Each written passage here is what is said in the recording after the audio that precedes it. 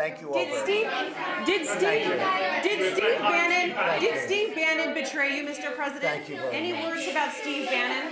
I don't know, he called me a great man last night, so, you know, he obviously changed his tune pretty quick. All right, thank you all very much.